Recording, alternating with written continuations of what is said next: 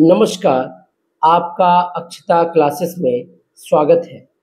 आज हम Kailash Chandra volume first की ट्रांसक्रिप्शन नंबर 18 की पार्ट टू की डिक्टेशन करेंगे, जिसकी स्पीड 80 वर्ड पर मिनट के हिसाब से होगी।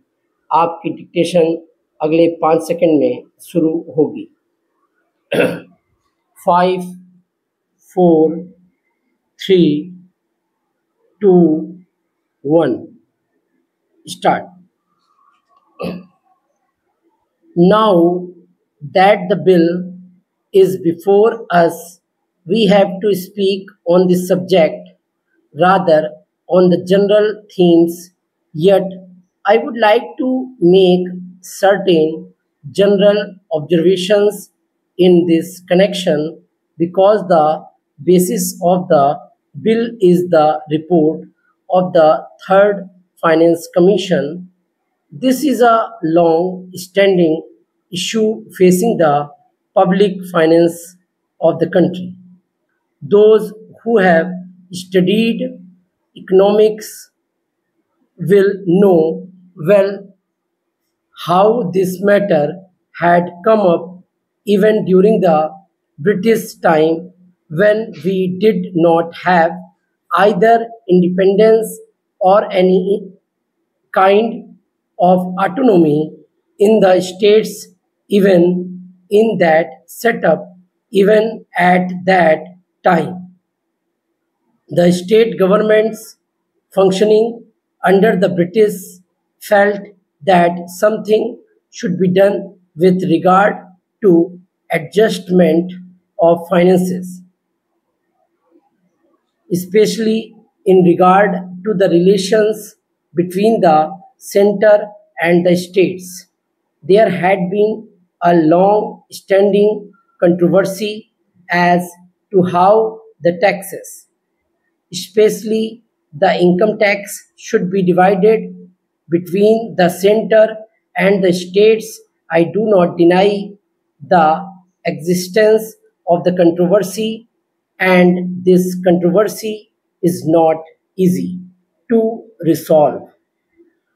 I entirely agree, but I should have thought that the Third Finance Commission should be tried to face the problems before it not more or less in a routine manner, but in the context of the new things not only uh, they are today but as they are going to shape in the coming future.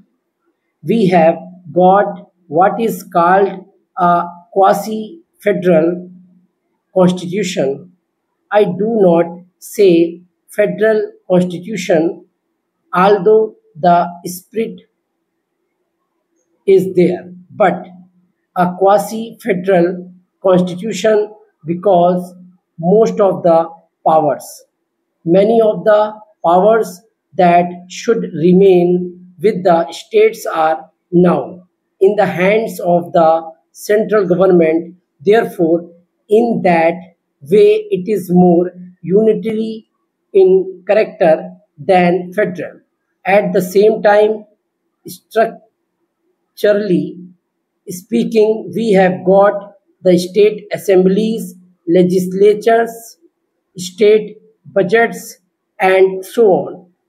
They function more or less in the same way, but if you go a little deeper into the affairs, it would immediately lead you to think that the states do not have any substantial real power, especially in the matter of finance, perhaps at the time when the constitution was framed.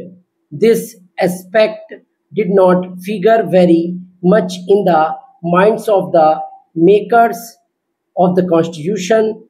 We had just become become free and the concept of welding India into a solid nation was uppermost in the minds of those people who framed the constitution and all other others as well in that background. It was quite understandable that it should be the dominant thought as to how to put the different segments of our country into a whole namely the Indian Union. Dictation complete हो गई है thank you